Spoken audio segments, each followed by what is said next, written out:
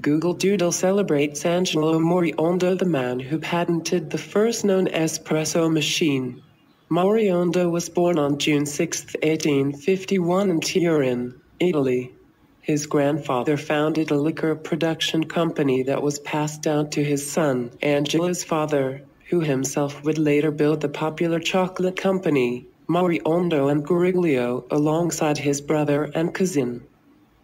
Moriondo purchased two establishments, the Grand Hotel Ligure in the city center Piazza Carlo Felice and the American Bar in the Galleria Nazionale of Via Roma.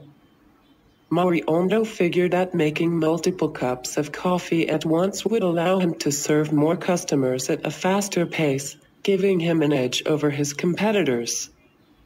Moriondo presented his espresso machine at the General Expo of Turin in 1884. The machine consisted of a large boiler that pushed heated water through a bed of coffee grounds, with a second boiler producing steam that would flash the bed of coffee and complete the brew. He received a patent titled New Steam Machinery for the Economic and Instantaneous Confection of Coffee Beverage, Method A. Moriondo.